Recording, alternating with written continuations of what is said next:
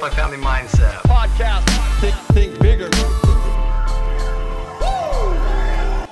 Hey, what's going on, everybody? My name is Dallas Pruitt, and this is the Daily Drip here on the MFM podcast.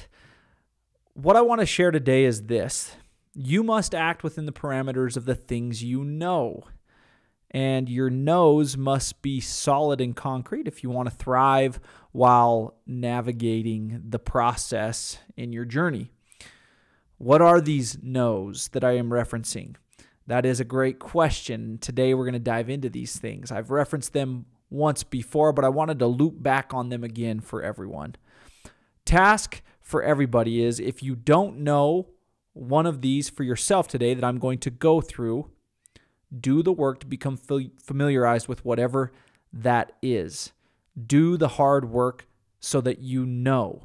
Again, the following knows are musts if you want to thrive in navigating the messiness that can and will and for sure come with the process of achieving your goals, building the life of your dreams, creating your best self.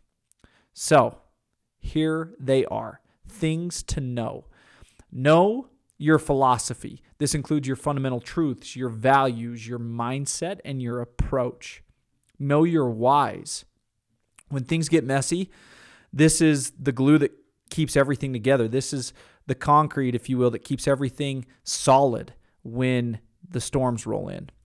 Know your strengths. And on that same token, know your weaknesses. One thing, I, however, I have learned is focus more on your strengths. It's not that you want to turn a blind eye to your weaknesses, but magnify those things that are great within you, those gifts, those talents that you have. Both of these things uh, will help you to take better action and, and make better decisions.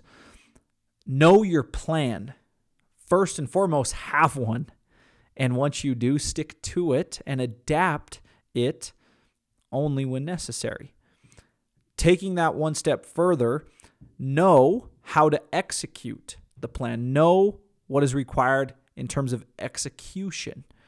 And the last know that I want to cover today is know how to respond when adversity hits, and it will. When things get chaotic, know how to respond, not react. You only know what you know. And when things get tough, these are the things you lean into. These things are foundational, they're fundamental for growing and thriving and living a life of fulfillment today's invite for everybody is stick to what you know, broaden what you know, deepen rather what you know. And that means that if there's a gap in any of these areas, lay focus on that weak spot. Because again, clarity breeds certainty. And if you're going to achieve, you must not have this crazy doubt that continues to seep in. A little bit of doubt is good. Doubt is not necessarily a bad thing. But if you're going to achieve great things, you must continue to lean in to the truth that you are capable. Have a great day, everybody, and we will see you guys back here on the podcast again tomorrow. Multifamily Mindset. Podcast.